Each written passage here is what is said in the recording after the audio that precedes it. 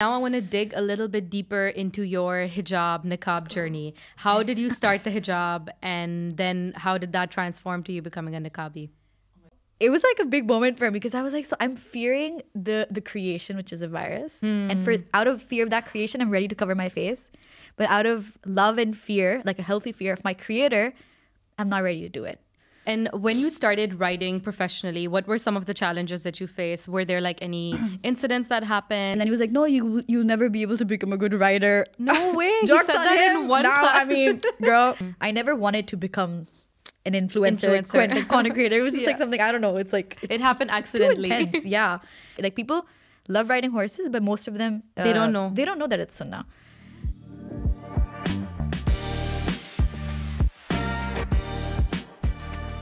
Hello, and welcome to the Bigger Picture podcast. Today's guest is the definition of breaking stereotypes. She's a horseback archer, she's a content creator, she's an entrepreneur, she's so much more, and I'm so excited to hear her story. Hello, Aamina. Welcome to the Bigger Picture podcast. How are you? I'm good. Thank you so much for having me. This is I'm so excited to be here. Alhamdulillah. Thank you so much for coming. So basically, me and Aamina, we go way back. We've been Instagram friends for a couple of years now. Yeah, exactly. Alhamdulillah. Yeah, always like talking online and you know hyping each other up. Like and I was both actually of us. following you for like a, a really long time, even before we connected. So Oh, we go way back. Basically, yeah, we would like always comment on each other's pictures Yeah, and everything. exactly. So it's been really nice, and I've seen how you've grown your page as well, and I'm so proud of it. So inspired. so basically, to start off, can you tell us what have you been up to recently, and how is like the content creation journey going right now? Um, it's it's going well. It's exciting. Um, I feel like sometimes there's like a bit of pressure to you know because like once your following starts to grow further Yeah. and further, you have this um, like you start setting standards for yourself. Before it was like all casual, and I mean, and sometimes then I start to think that no, I need to make it casual. It doesn't Okay. always have to be like always HD or you know. Yeah. Um, but yeah, alhamdulillah, it's going well. Um, and then yeah, I mean, I'm working through it. Okay, that's good. So basically, you're not just uh, a content creator, you're studying as well, you're working, you're freelancing, you have your business. So, how do you manage everything together? Oh my god How is that going for I you? I get that so like I get this question all the time, and honestly, I don't know how, how I do it because I feel like I don't even do it well.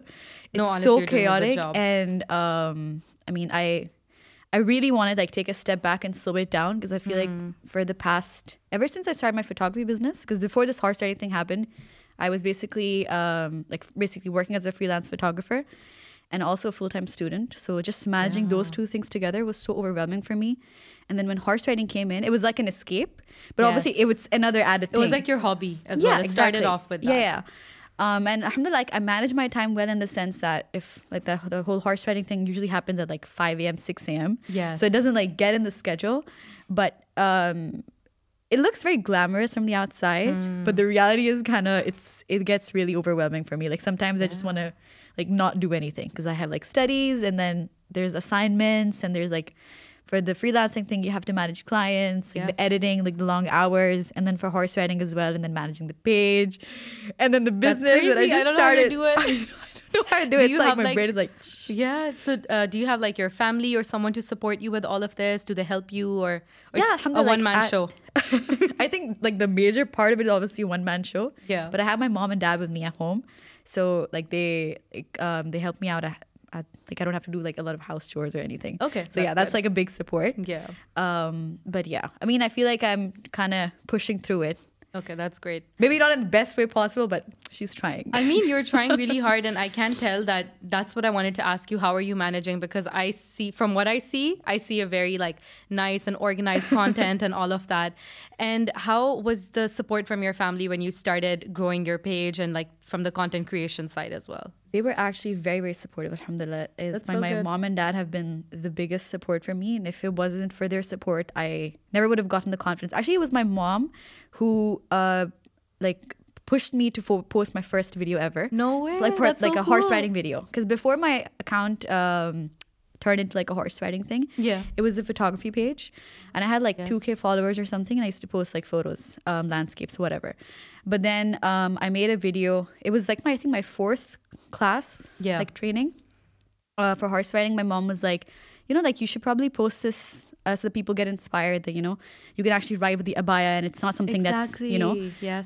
because you don't really see it that often. Hmm. Um, so yeah, and then it just like so slowly, slowly with time, it went to 5k, and then you know, like, Oh my god. Yeah. From there on it, It just, just escalated. mashallah. It's like I think I was just checking before I got here. You're about to reach 300,000 Yeah, on oh Instagram, God, which is huge. and I sometimes like the number is so overwhelming. Like I imagine it's like they're all people. Yeah, like imagine all of those people in a room. Like that's how I think like about sometimes it. as content creators we tend to like the, it just becomes a number for Yeah, us like even the think- likes and everything but if you actually think about it it's like actual people you know yeah, and then you And think uh, what a big achievement that is when you imagine the numbers. and it's also so um it's kind of scary like you have access to so many people and Right. it's like a big responsibility like everything i'm saying it can have a huge impact. And people are actually because it's people really look up to me. And that's so scary to me because i mean i feel like i don't like I know, you- I in can your head you're like i'm not worthy for this. Like don't look up to me. It can be but overwhelming for sure. Yes. it seriously is And when you started riding professionally, what were some of the challenges that you faced? Were there like any incidents that happened or how was that like? um yeah i have a little bit of tea Okay, perfect. Give me all the tea. exactly. um, but um, I would say, alhamdulillah, being in the UAE, it was a very supportive environment. Um, and in my head, before starting, I thought that it would be a bit of a hassle to start the abaya on the horse. Um, but actually, how things turned out, it that was not the case. Definitely, it's not something you see that often. But since sure. it's the the alhamdulillah, it's, it's a Muslim country, and so ex- Yeah. abaya it's, itself is so accepted and everything. So it wasn't something that the cl- the where I was training, they were like, no, you can't wear it. Instead, they were like, yeah, you can wear it. That's good. Um, and then you, I realized that we have these like mental barriers and we have these assumptions that oh, just because I wear this, I can't do that. Sometimes you just have to go out there and like And give it a it. shot. Yeah. Um, and like things might actually work out. So the but but I would say Alhamdulillah, I I did have like a very supportive instructor Good. who really uh, never like, he never even commented on my abaya and that's the first thing i liked because i want to be treated normally you know like Yeah. you don't have to make me feel like i'm special because like she's wearing all this Just Exactly. treat me like all the other students Yeah. but uh, this one class i accidentally booked with this other trainer Okay.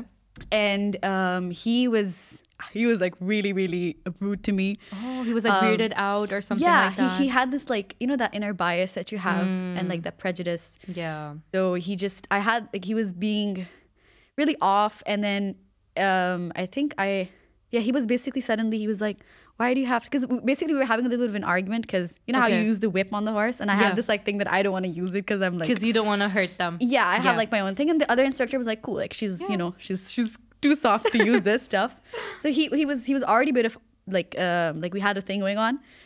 Um, and then suddenly he was like, why do you have to wear this on the horse? And then I was like, cause I was like, it doesn't matter. Yeah. And then he was like, no, like if you want to be a professional rider, you have to, you know, he was like, yo, you can just like wear, you know, a long, um, Long- long sleeve shirt, shirt, and like long pants. But then, then I was like, I mean, I respect if someone wants to wear that, but I want to wear this. And Exactly. It's your choice. Yeah. And why do you have to comment on what I wear? Exactly. And then he was like, "No, you you'll never be able to become a good rider." No way. He said that in him. one now, class. I mean, girl, Send him a screenshot of your page. Exactly. Be like, I made it. he actually follows me. Oh. I don't follow him back though.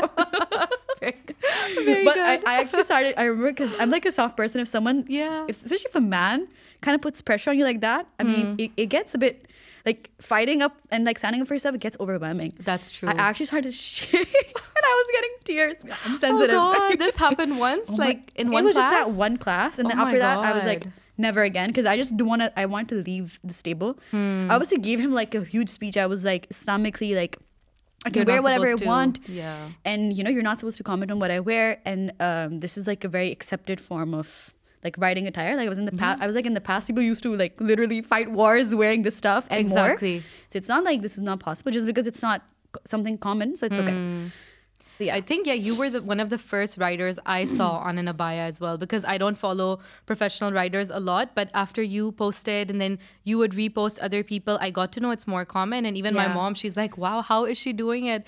so like, what's the story? You know, is there like a special kind of abaya that you use, or how is that like? Yeah, I um, so this is also like a whole story of how I got into it.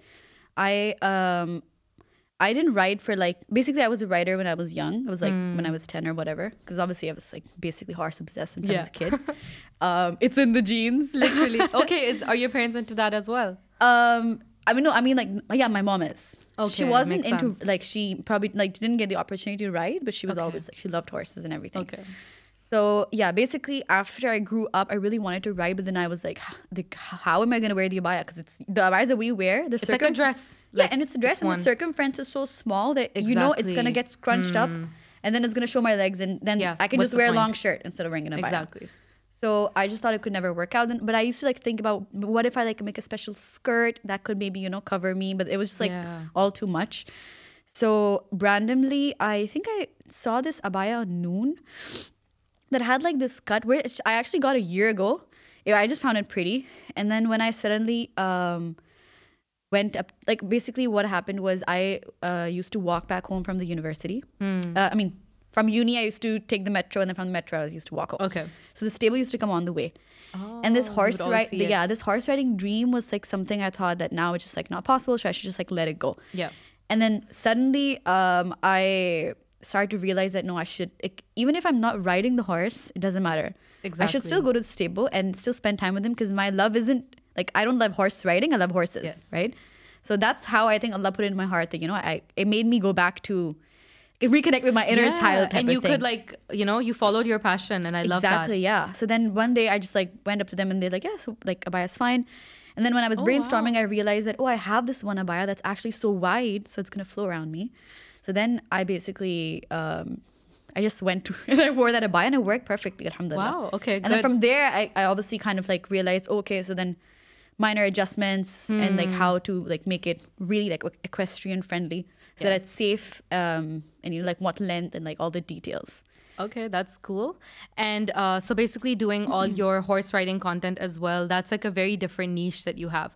So, for example, if I'm I'm basically a food content creator, so the perks that I get are going out for tastings, getting paid collaborations like that. Yeah. So, in the horse riding community, what does that look like? Like, can you monetize your content? Do you get to go on trips or anything like that?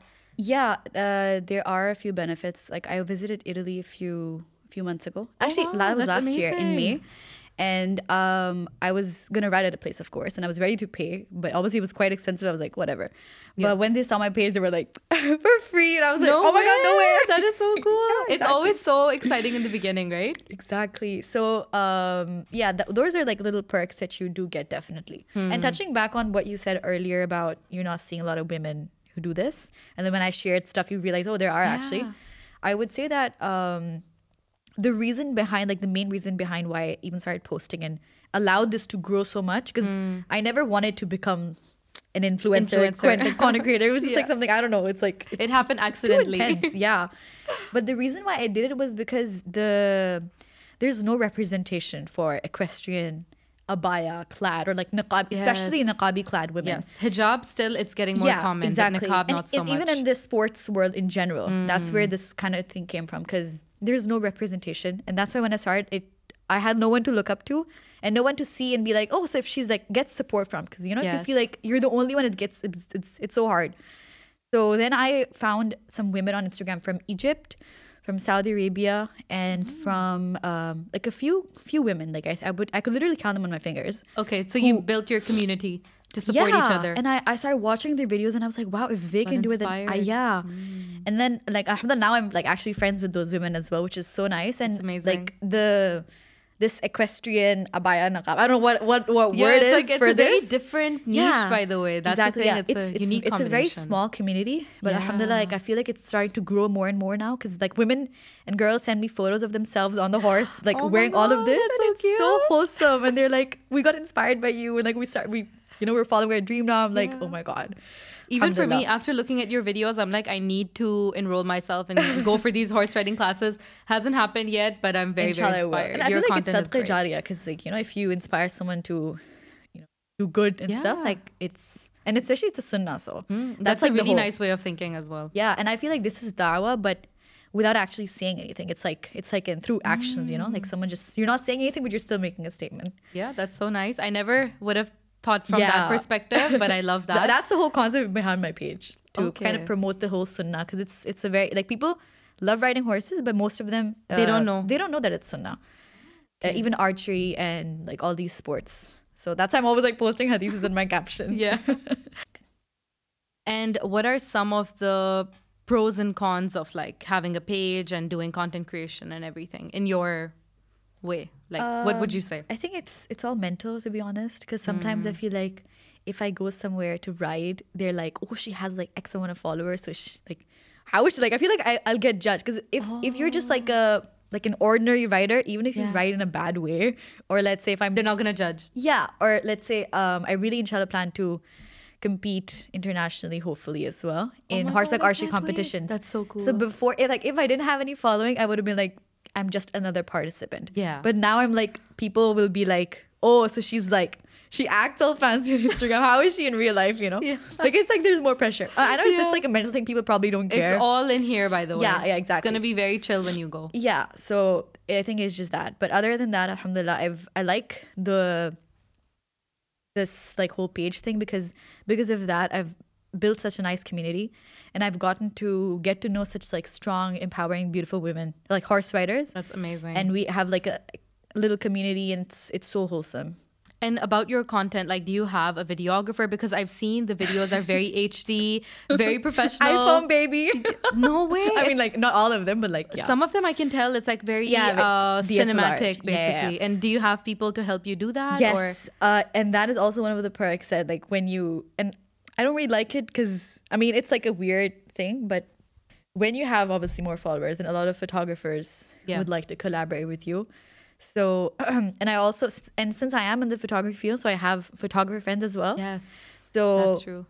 yeah, some of my videos have been filmed by really good photographers, and one of my like most of my viral videos have been filmed by this really really like amazing photographer from Turkey, who who's also a good friend now. Oh, he comes all the way. Yeah, he's coming That's a so few times. He's he's an equine photographer, like videographer photographer. He is so talented. Like most of the videos that went viral are because of him. Yeah, it's like a whole Um, industry. Like there's yeah. specific photographers and videographers for this. Yeah. That's so cool. And um, I don't know if you know Mahima. I probably I think I've seen her on your stories. yes, yeah. She's also a photographer, so she like she made one for me. And then I have another friend, Lou. She's also a horse rider. She's also a really good videographer, so she's made, from, made one for me. But then usually most of my videos are actually filmed from iPhone. yeah my iPhone. I love and I got the good one because I was like, I You need got the that. I- 15? no, no, I'm I got the 14 Pro Oh, okay. last year, and I was like, because I need that crisp quality. Yeah, a lot of people are saying, by the way, 14 Pro and so 15, good. there's not much difference. Yeah, So you're exactly. good. Yeah, from like, you don't need 13 to 14 was like a yeah, good jump. For sure, for sure. Yeah. And now I want to dig a little bit deeper into your hijab, niqab journey. How did you start the hijab?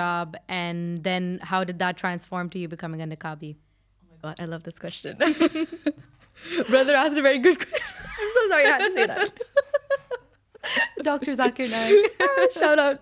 okay. Love so, that. um, my Alhamdulillah, I grew up in a very Islamically oriented family, which is a huge blessing. Yeah. Alhamdulillah. Um, my mom's was my mom was a niqabi, so that was something that I saw from, ever since I was born. Basically, it was like the norm for me. Hmm. But um, I was I didn't wear the niqab up until like a few years ago, which is I started in 2021. Uh, so I'm not like getting emotional. It's just I was laughing. So Oh, okay. I thought I'm like, wow, oh my god, this story, no. this story is gonna be very emotional, guys. Trigger warning. Trigger warning. Okay. no, so I started the hijab ever since I was like, like I don't know, 11, 12, whenever you start the hijab. Yeah. Um, and it was, um, it wasn't something that I had. I mean, we were never forced into it. Yeah, But since I had, yeah, I was the youngest sibling. So I saw all my sisters do it. So I'm like, it's like something you just, you know, you have to do. Mm. Yeah. Mm. And you're completely okay with it. In fact, I was like always excited to do it because I wanted to grow up faster. Yeah. So I wanted to wear it even That's before I had to wear it. Okay. You were even uh, like because your sisters were wearing it, you were inspired by them. Yeah, as well. yeah. It was like something that, you know, oh my God, I even felt cool. Oh my God, now I'm a hijabi. Yeah. I'm cool now. Don't I'm talk to of- me. I'm in the gang now. I'm holier than thou. just kidding. so, no, no, astaghfirullah. It's not like that. That was just like a kid mindset. but um, yeah, so I, I don't know. My hijab journey has been like the same Hmm. because I, uh, when I started the hijab, I started the abaya directly. Again, because of the, it's it's the norm for you. thing. Okay. And then you and since we always had like religious discussions and everything so like i had a good grasp of the hijab and i did it with my heart Okay. and never had like doubts about it and everything but yeah the niqab has been like it's been like a roller coaster kind of thing Okay. it was um since i saw my mom and like i knew in my head that this is like a goal and i knew that you know i'm supposed to reach this goal but then it was reaching that goal was a really big uh really Hmm, Yeah. hard step Especially in like this time right now. you know? Yeah, exactly. When it's not that common, and then you Mm. you have all these fears that okay, if I start the niqab, then I'm not gonna be able to do this, that, Exactly. And it's like there's so many like there's there's so much. And I remember I was in school. I think when I was in the ninth and tenth grade, I had this like thing that I want to start, and then I was like, okay, I'll wait. A, I'll wait for a few years, Yeah. and then I would reach after like after those few years, I'd be like, okay, like Ah, further down the okay. line. Like I was like, you know, You postponing would it. keep pushing it. yeah, because Hmm. you're like, no, like if I start now, and like people in school would think, what an idiot. yeah. Okay. Yeah, like you'll get judged and everything. Yeah. Yeah. And then when I was in A levels, I was like, yeah, I want to start. But then I was like, okay, I want to, because at that time I, I was planning to study medicine. Yeah. So I was going to go to Army Medical College, which is in Pakistan.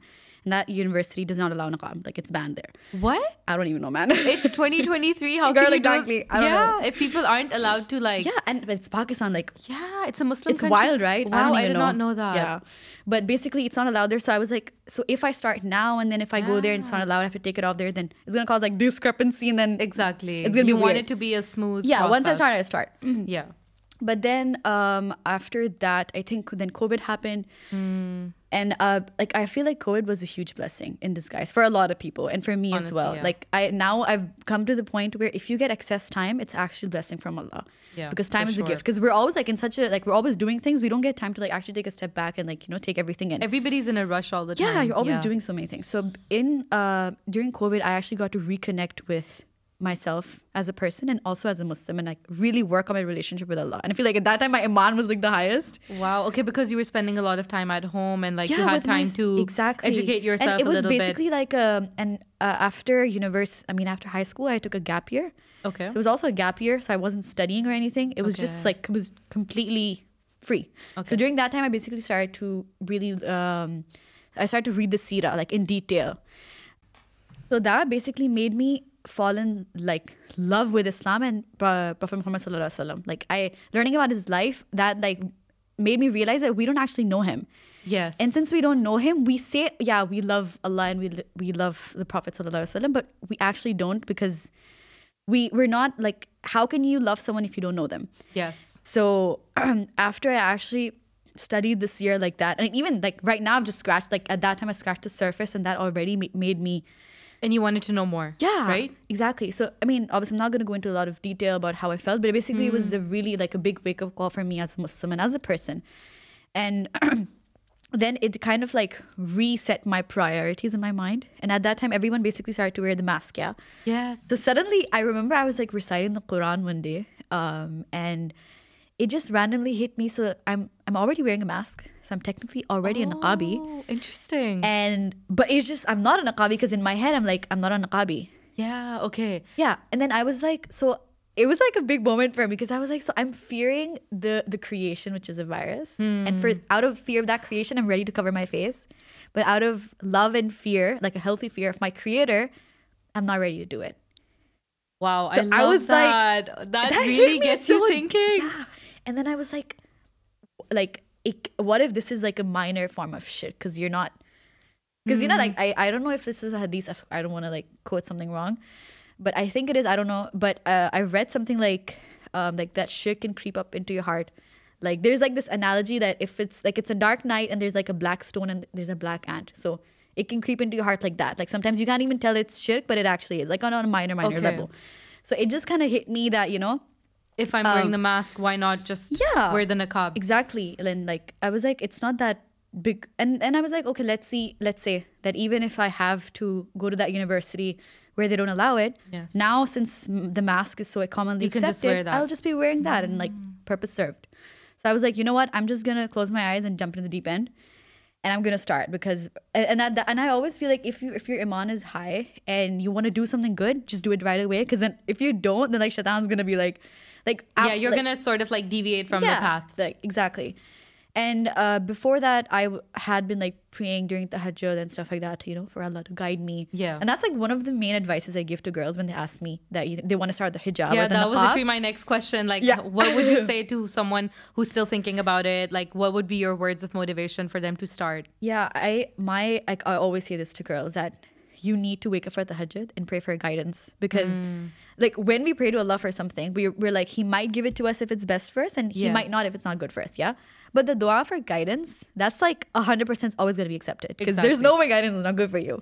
and I've witnessed this firsthand every time I pray for guidance during tahajjud, literally within a few days, You get a sign or something. I get a sign and like you get that. Like you feel it. It's Yes. obviously it's being accepted. And obviously it's tahajjud. So and like don't stop thinking about it. So if you wanna uh move forward in your hijab journey, wherever you are, like do not stop th- stop thinking about it and like keep trying to push yourself. Yeah. And I heard this um lecture by Mufti Menk on this topic and he he gave this really good advice. He was like, wherever you're standing, stay there. So don't look back. Example, if you're at a stage where let's say you're you're not even a hijabi, but you're wearing loose clothes. Yeah. So just stay there. Stay don't there, don't take a step back and just keep looking forward at your goal because if you take even one step back, then shaitan's gonna make that 20 steps back. Yeah, So one step forward is one step forward, but one step back is never one step back. It always like like exponentially goes back. Yeah, exactly. And this is, I think, advice for people as well that number one uh, number one thing is never like force yourself into something Yeah. let yourself grow into that exactly. and even for like families that pressurize their daughters to start the hijab and all of that this happens Yeah, even it's in so even now it happens it's like 2024 i think not and even that, I feel like 2023 that causes yeah. rebellion. And I, Yeah. I mean, if you want to do something, especially with this hijab and everything, you shouldn't force that as a, as an action. You Hmm. should instead go back to the root. So, and that's what worked for me. Like for so many years, I wanted to do it, but I couldn't do it because I feel like my relationship with Allah was not that strong enough. So, if you want need your to child to do that. it, or even if you want to do it yourself, go to the root and then work on your relationship with Allah. Once you build that, like it'll just all just like work out on their on its own. Yeah, and that's the thing. Islam is a very simple religion. People have overcomplicated Yeah, it it's for very no holistic, reason, like right? a- it's very practical Yeah. and all of that. And you know, uh, now I just remembered the thing that you said about the mask. I was thinking when COVID happened and we had to wear masks.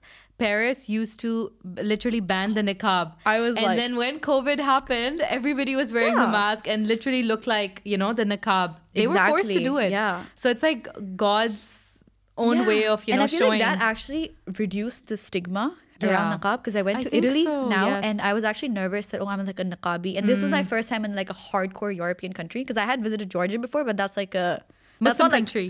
uh, no, no. Georgia Georgia Oh, I thought Jordan. Okay, yeah no, Georgia. I meant like uh, that but that's Western Eastern Europe Eastern Europe, geography yeah. is so bad but like Italy is like a hardcore you know I mean I don't know you always have this like apprehensions of how it's going to be like but because of the niqab I- feel like people didn't even look at me weird I had like zero bad experiences way. although I went to like Rome Venice Florence I went like to a lot of Oh, places mashallah. I'm so glad you And, didn't have like, any issues. a lot of the locals were actually smiling at me I was like oh my god so you don't hate me How do you keep yourself like, you know, positive with everything? um Like what's your mindset like? um i feel like it's it's knowing that what you're like at least whatever i'm doing is right in the sense that i get a lot of comments as well where people are like you know kind of throwing hate or whatever but it never gets to me okay, that's good. um because i know that whatever like you know in my heart i look i know what i'm doing is right and i'm, I'm trying to be better and um yeah because i get a lot of comments where like oh like you're not supposed to ride horses How do you deal with that, by the way? How do you deal with the hate? Like, do you reply or do you ignore? What's your I process? take screenshots and I post on my close friends, and I troll them in private. Oh my god! You should troll them publicly. By the way, that's not right. I need to maintain like a like a Oh, like know, that nice she's persona. a nice girl. Yeah, on my close friend, I'm like This is a real one. exactly. But uh, yeah, but that's this is actually one of the main concerns that I have, which I try to address, but I'm kind of confused how to like really address it. Hmm. Is that I get so many messages from girls saying that is horse riding haram, or like does it like damage us as a like a, from like a fertility perspective? Yeah. And I have to send them paragraphs that no, like that's not the case. Like, That's basically like a myth, I think. yeah, it's a myth. Yeah. Um, and then they're like, no, but like our our husband or like our fathers or like our parents are like forbidding us. And I, then I actually didn't know people think like that.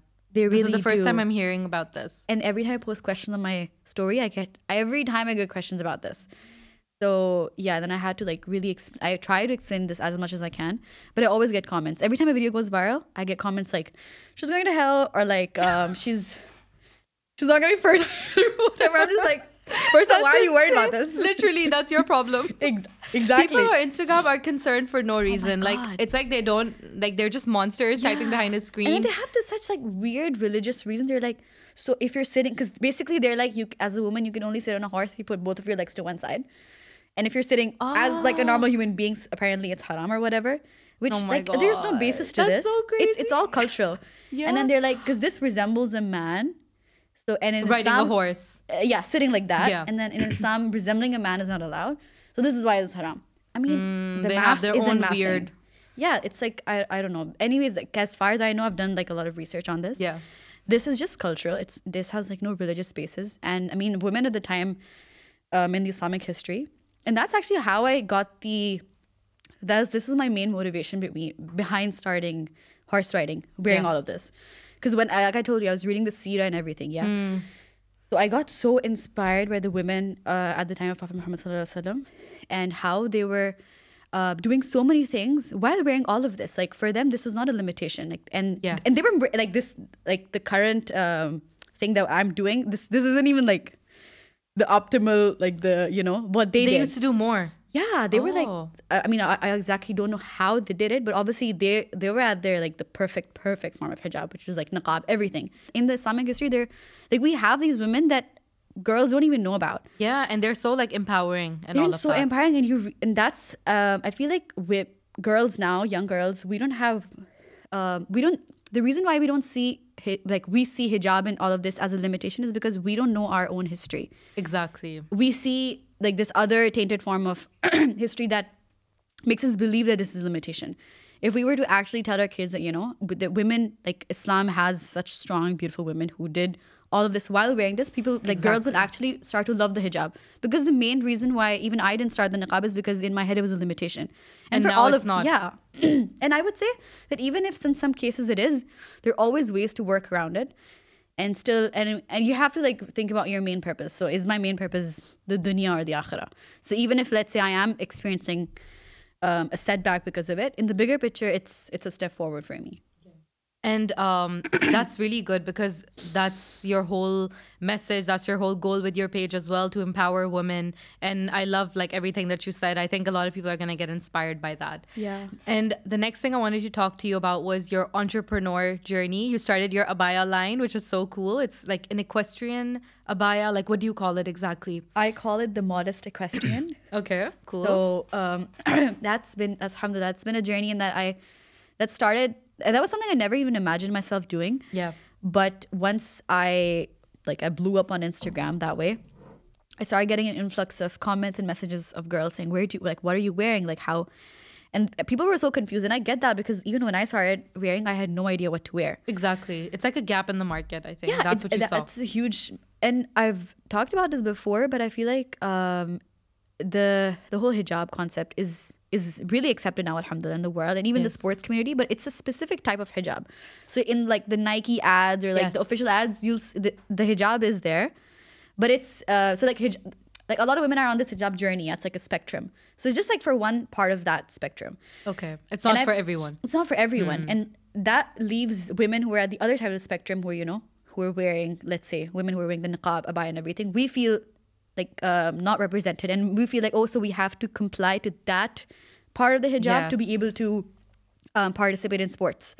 So this is like my whole Muslim women empowerment um, agenda, you could say, is to make women understand that you don't have to comply to a certain type of hijab to feel like, oh, you now you can pursue sports. Yes. It can be in any kind. Yeah, and as long as Yeah. Mm. Islam permits it, I'm not saying go for certain sports that are, you know, not Yeah. like outside, uh, like whatever is within the circle of Islam. Yes. You should definitely go for it. So the that's that was the like the, the thought behind the brand Okay. to make to make modesty accessible for Muslim women who are into horse riding. And I like inshallah I plan to grow it into like other sports as well. But let's see how it goes. That, that that's Um, really nice. But yeah, because I feel like again, that's a gap in the market. If you go on Google and you search horse riding, like Abaya. modest wear, like abaya, you don't really get anything, and it's mm. also confusing. And you'll you'll just see like random blog posts, but then you're just like, what am I supposed to wear? Exactly. So I wanted something that makes women feel like, like if we're doing the hijab or abaya or niqab or whatever, we don't have to give up on our dreams. That's amazing. And are you getting a good response? Like, are Yeah. people purchasing it from around the world? Yeah, because I, I feel like most of my clients have Yes. been uh, from like around the world. Like I get messages from Indonesia, Malaysia, UK, South Africa, USA, Oh Europe, God, that's even France, and I was like, wow, mashallah. that's but- amazing. I love that. Alhamdulillah, alhamdulillah. It's going well. Um, but I would say that since I'm doing way too many things at once, Hmm. it gets a bit too much for me to handle. So inshallah, I'm waiting that once I graduate, which I am inshallah in a few months, it'll be a bit easier for me to really.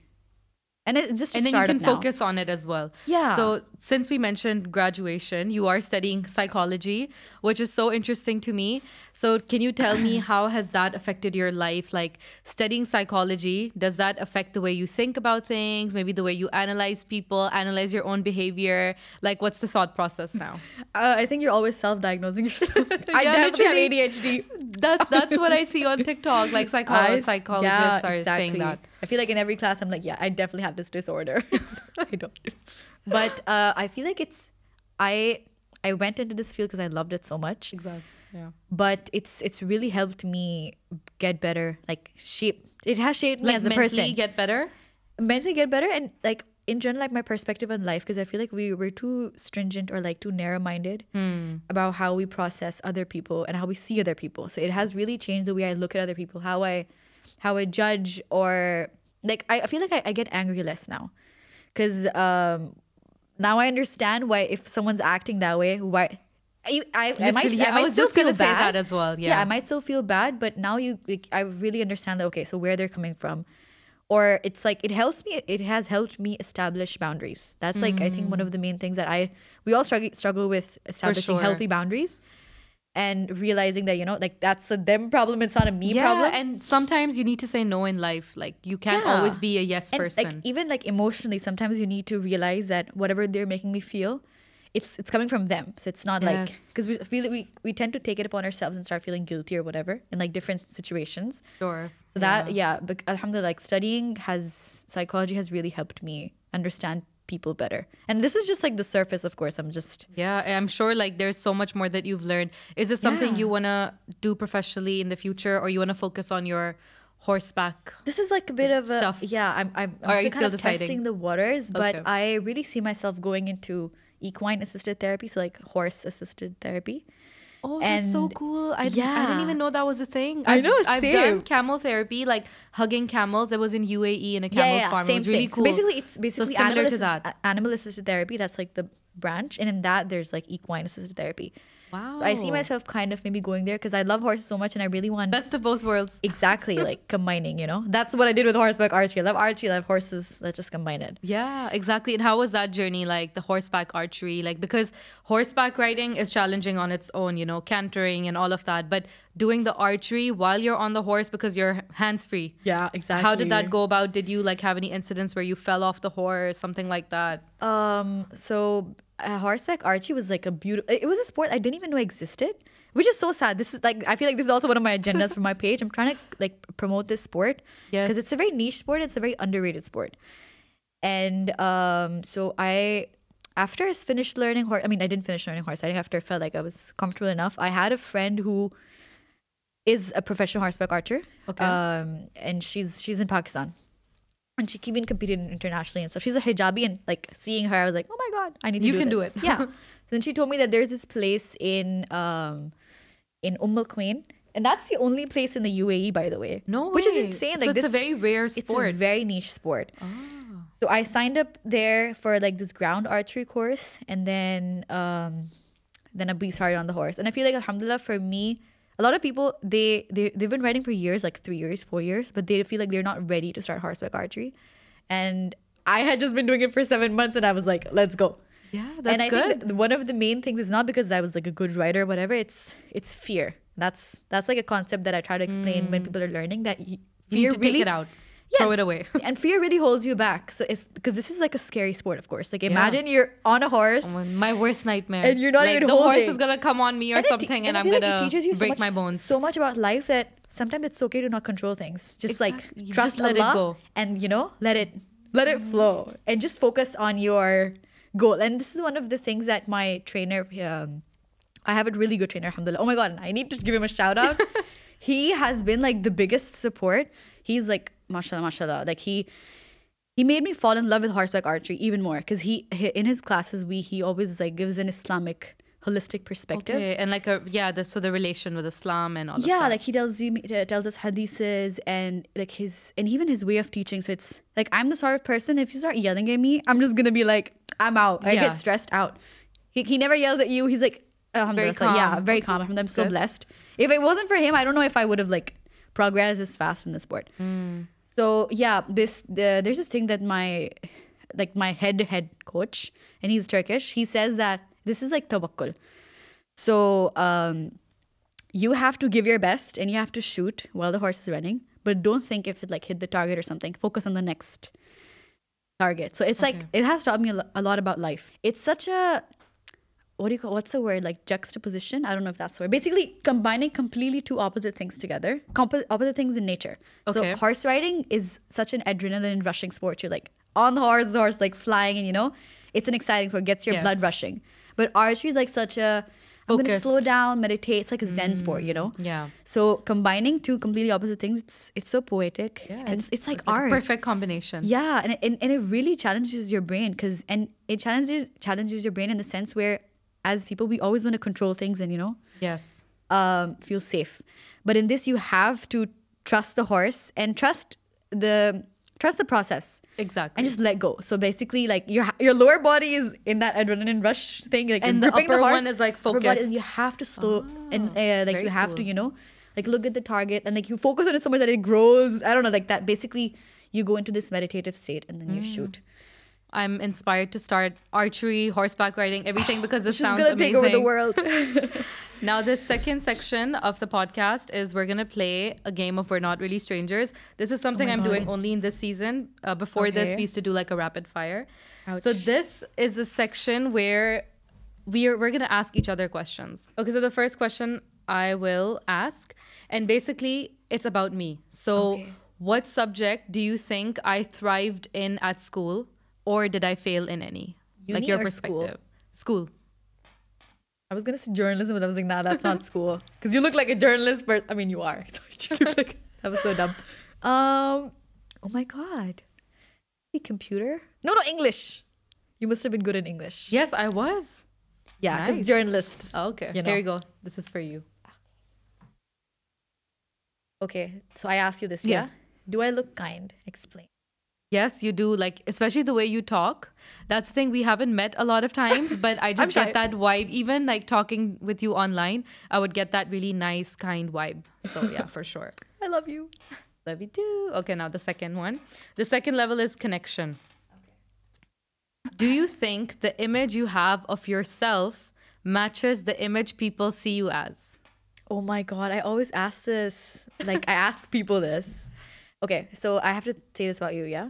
Um, no, so this is about you. Okay. Yeah. So I feel like when people see me, probably because of the niqab, they think I'm like very serious, intense. Like I'm giving the death stare. I mean, I, I don't know. Should I just, like squint my eyes? The eyes are you. The eyes are the only thing you can and, see. and people say I look very unapproachable. Like Okay. once I'm not talking, if they just like see me, yeah. and then even my online persona, everyone thinks I'm just like really this like serious, focused person. But when they see me, I'm like, they're like, oh, she's just like, Psych. whoops. so yeah, I'm kind of like, you know, um, not as Not serious. that serious. Yeah, for sure. Like that's the vibe you give to me. This is for you. Level two. Okay. What lesson took you the longest to unlearn? Oh wow. That's deep. That's this game is a very deep game. That hit me. Oh my god. what lesson took me the longest to unlearn? I think just things about control. You know, there's only so much that you can control, and sometimes you need to let go. That goes life. back to the horseback archery thing. Literally, yeah, because I relate to that as well. Sometimes you think that you want to control everything, you want to fix everything, but if you have that strong belief and you know that whatever's going to happen, it's for the best, it's going to make your life so much easier. Yeah, this was game. This was good, and now the last session is my favorite one. It's Okay. called the Bigger Picture Challenge. I don't know if you've seen it, but you're gonna get 60 seconds to draw a picture. I'm gonna say something, and then you have to draw it in like Oh my 60 god. seconds. I But was you an can see- artist. Oh yeah, you do you do you I still do art. paint? Okay, perfect. Add that to the list. oh yeah. my god. The She's an list artist. keeps the list keeps getting longer. Just gets longer. Okay, here you go. Okay.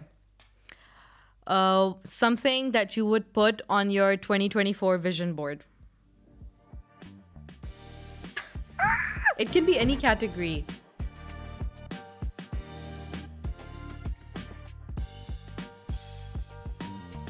Okay, can I have can I see the picture? Maybe I'll try to guess.